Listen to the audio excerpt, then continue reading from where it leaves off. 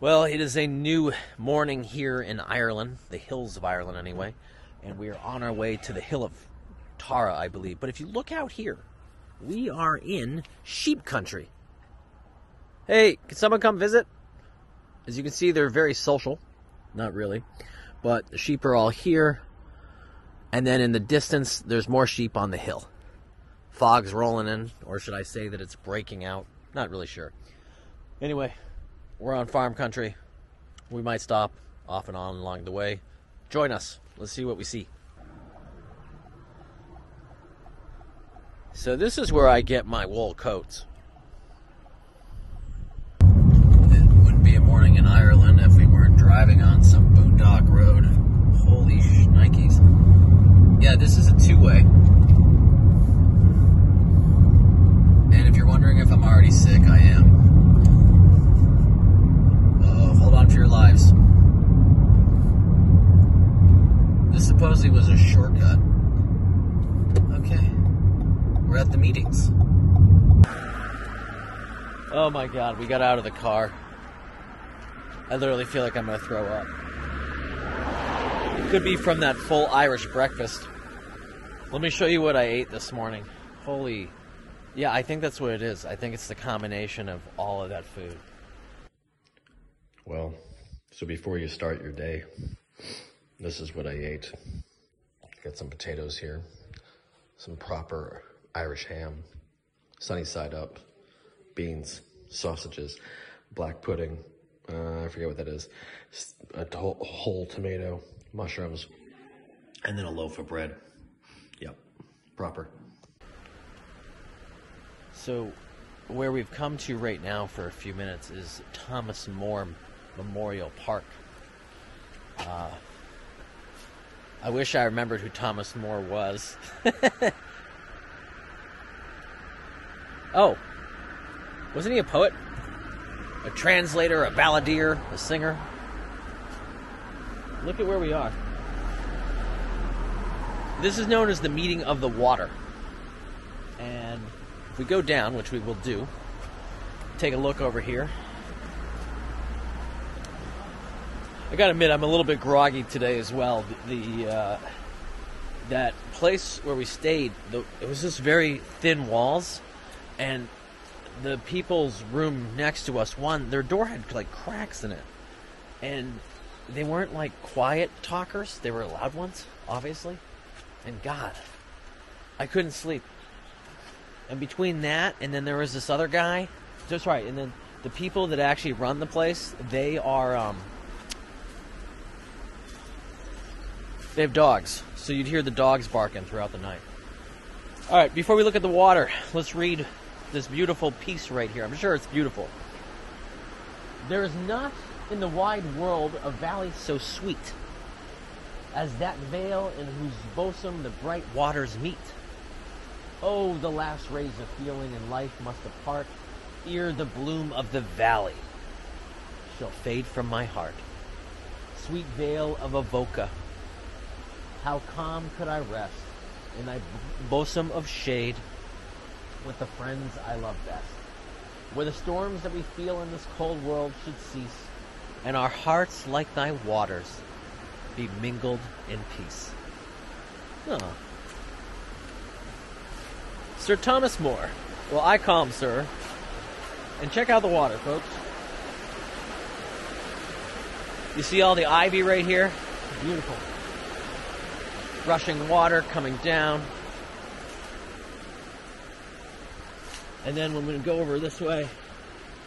Little life raft here to protect me if I fall in, which I hope I don't. You know what I w- expected to see, but there's not? I expected to see like some fisher people, some fishermen. But there's not. So this is the Vale of Avoca, or Avoca.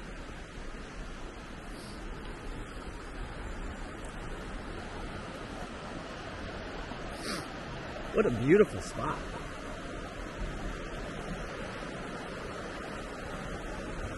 Pretty cool, huh? I've said this reference before, but between this right here, it reminds me of maybe this was what It reminds me a little bit of Rivendell when I would imagine that in my head.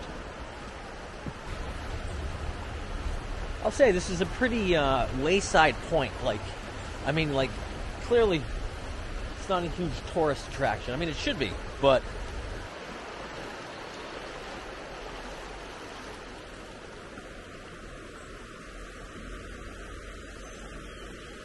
All right, let's get back on the road. Clearly, we're on the main roads. Or should I say, not so much. God, how are these are girl pheasants? All right, well, Yeah, keep, the- keep going so you get close enough to them.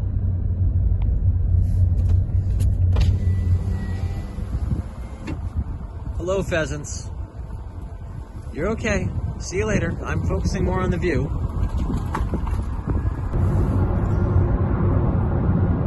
We're outside Dublin now.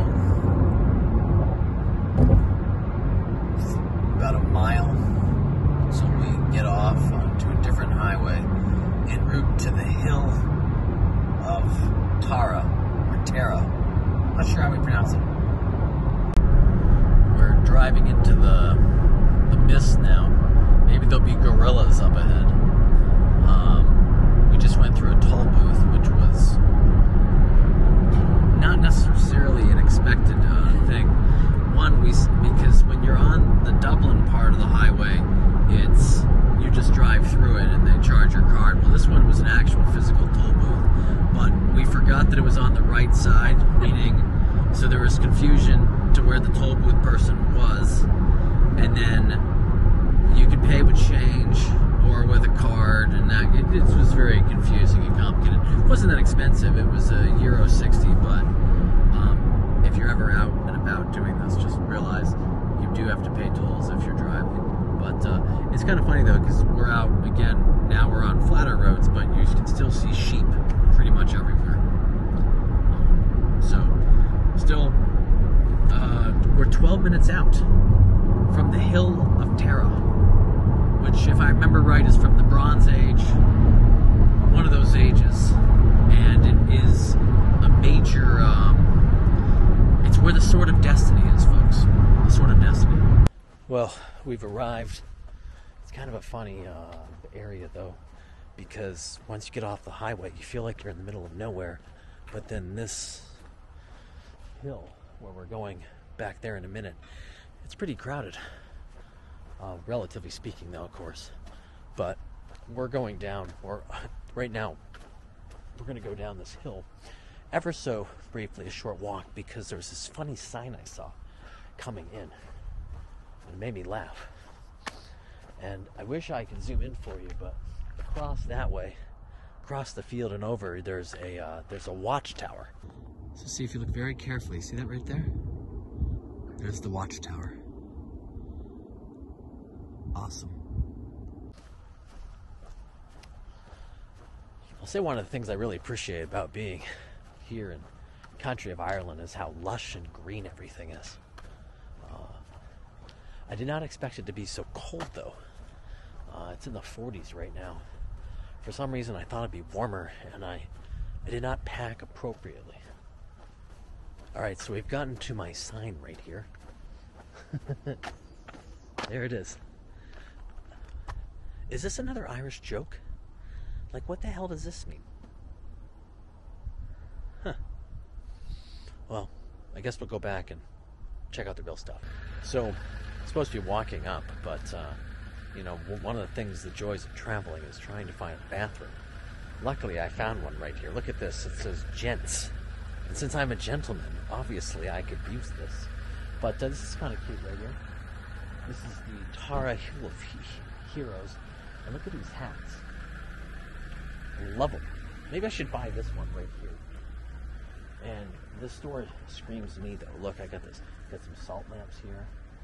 Uh, the statue. There's crystal collection. There's a fairy tale. There's a tarot thing right there. Some Wiccan box of spells. This guy though, this guy wants to come home.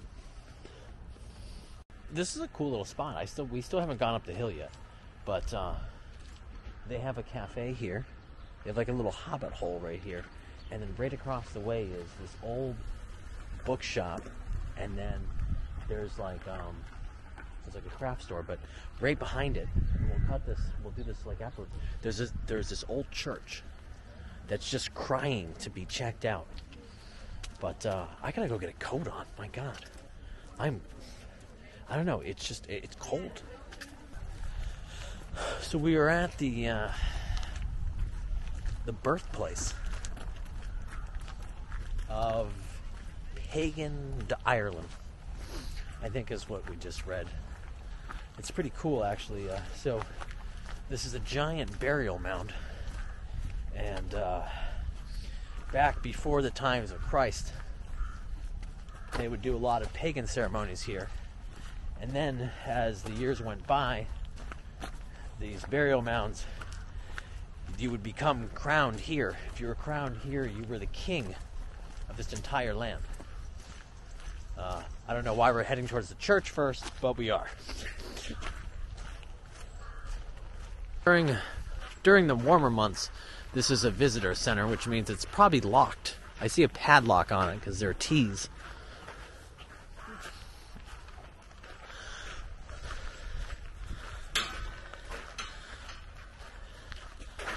Yeah, see, do you see the padlock? So. We're not even gonna try. Still a pretty view. Wow, it is nippy.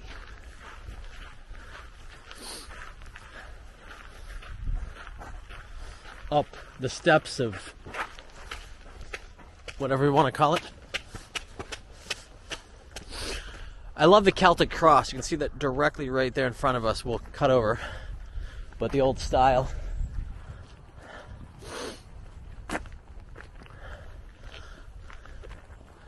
Wow, it's kind of eerie, isn't it?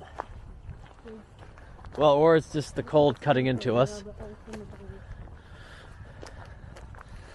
But if you look right here, see, here's your old style cross. Well, the Celtic cross.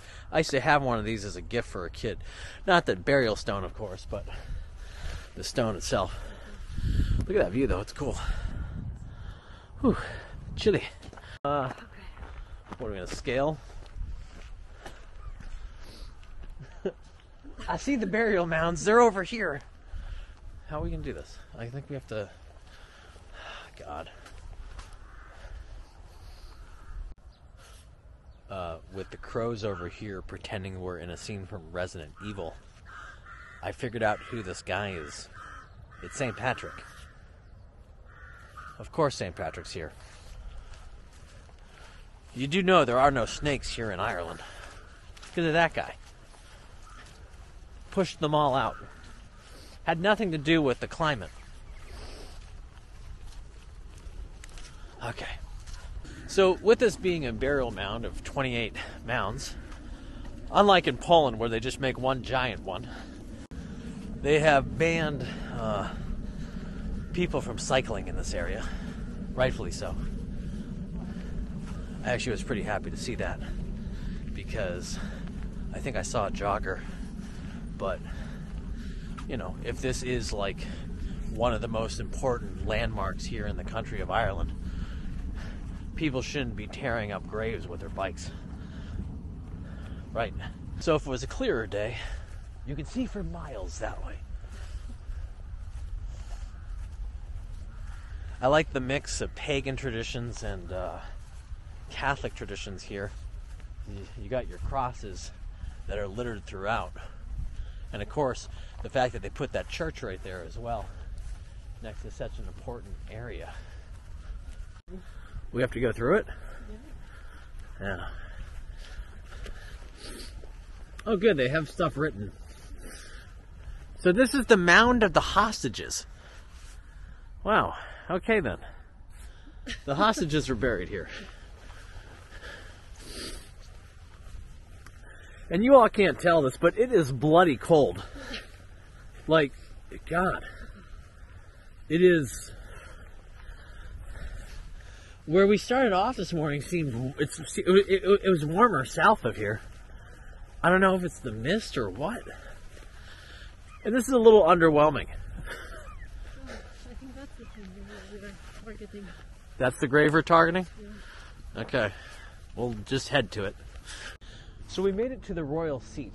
Uh, if you look right here, you can see the indentation. So these were the central mounds. This this is the top of the hill of Tara, and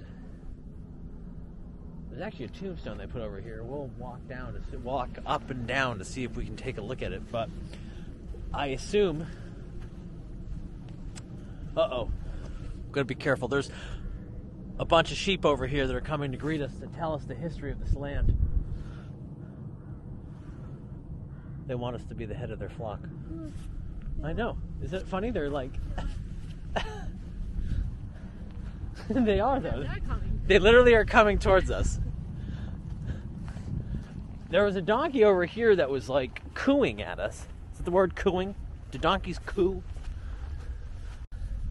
Yeah, oh, you okay. This is why I wanted to come here in the first place.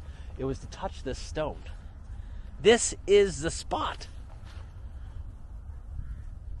And we're going to get to the side and touch it because that's why I came to touch this mysterious forget what they were calling it on the website. It was like Do you remember what they called it? Oh, we can check it out. Oh, there's a dog over there. He might know the answers. Hello, we're touching you, buddy. The heart of Ireland is right here, folks. Try over here. Right as this raven decides to go to the bathroom next to us. And the sheep in the background have turned around because they know who the royalty are here.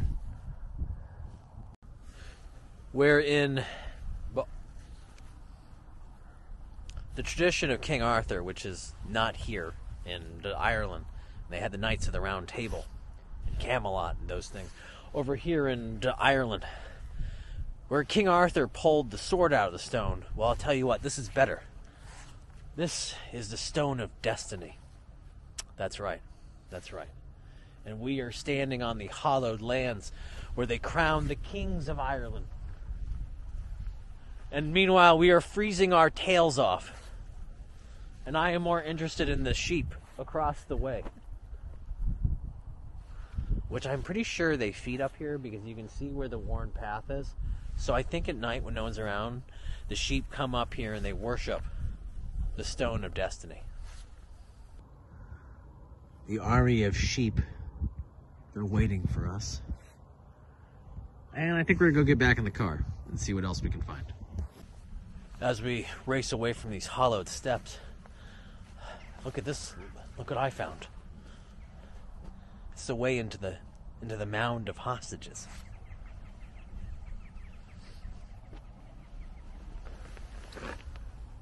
There's really nothing special inside there. Except for warmth. Yes, warmth. I can't explain to you how cold we are right now. And this is from someone who likes the cold. Well, one of us. You can see the roads are not very level because the phone shakes as I film this. So, nestled across the countryside, on our way to Rush, we're rushing to get to Rush or Roosh. Uh, we found this, uh, well, what remains of a church in Fingal County, of all places. And since you know how much I love cemeteries, I figured it was worth taking a little look right here. And it's interesting because this cemetery is very, very new. So this was uh, Baldongan Church and Tower. And the church dated from the 14th century, actually. And this was simply a parish church. Uh, it wasn't a nunnery or, or anything like that. But it, it's pretty cool how they just put. I it's neat. They put the cemetery right here in the backdrop of it. Well, this is very recent. Rest in peace. Rest in peace, Willie.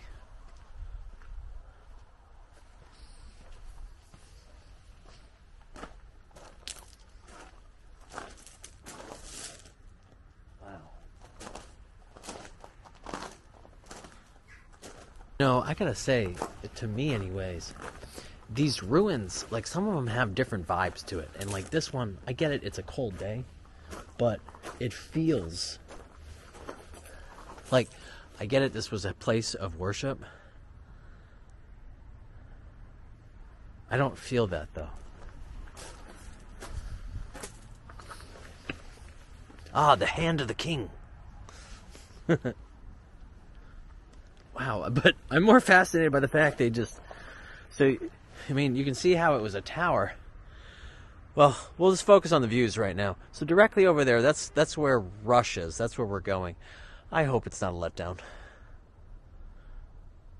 It's it's, it's uh, funny to me being in these different areas because like when I was in Dublin, I expected stuff to be nice, and then when I was in Bray, Bray was a delight. But then it's like, even last in our trip to um,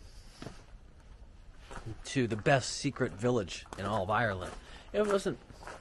I don't know. I wasn't as impressed as I should have been, probably. No, sorry, I wasn't as impressed as I. Sh- I wasn't that impressed. There you go. So. But I think uh, you know when should I ever come back to this country, I gotta go to like to Galway Bay and to Cork and stuff like that. But all right, we'll hit back on the road. It to Rush, a home of some. It's a peninsula of yew trees, whatever that means. More importantly, though, you can see this giant. There's like an island directly in front of us to your left, and the Irish Sea in front as well. Sometimes I don't have anything profound to say. This is one of those times. Times. We are at the harbor. It's right over here. I'll show you too momentarily. But uh, I'm more intrigued by their awesome artwork. Check this out. First of all, it's a public restroom, so that's cool. But they built like a pirate ship right here, right on the harbor.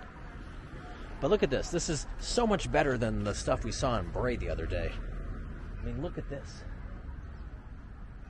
This is awesome. And there's no redheaded person that's attacking anyone. Look at the shark. So well done. Well done to this to this artist.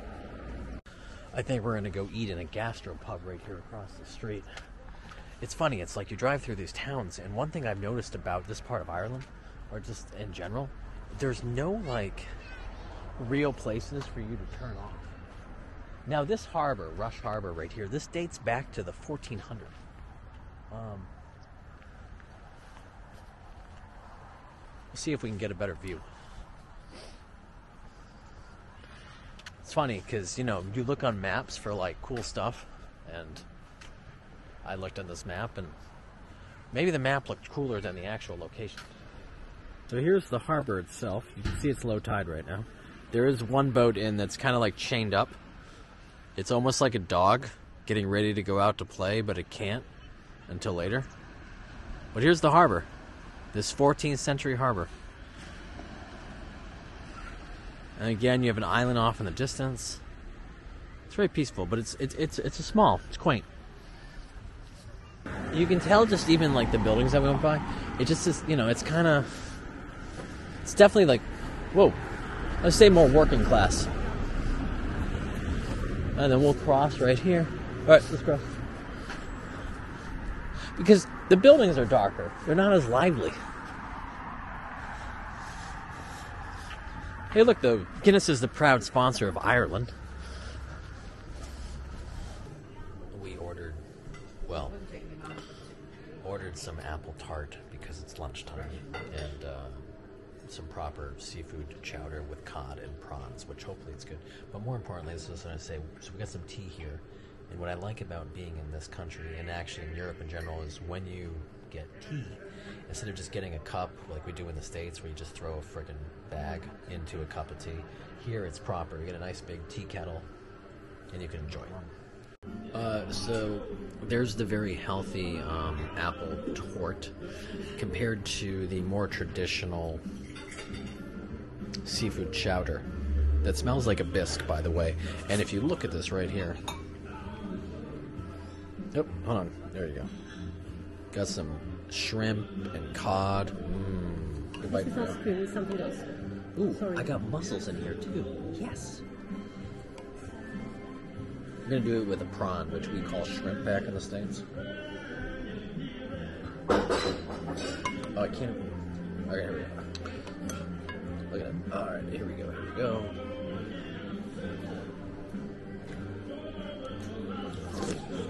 Hot.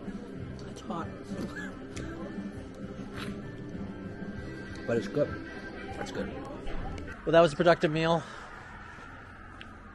But we must bid this part of Ireland adieu. Even though the sun has come out and is beckoning us to go venture down to greater and better places. I mean, we should end on a high note with that food, especially after freezing our tails off in, um, what was that again? what was the name of the, oh, you know, the, ha, ha, the Hill of Tara. the hill of Tara. or the Hill of Tara. We haven't figured that out pronunciation. So anyway, till next time, guys. Peace.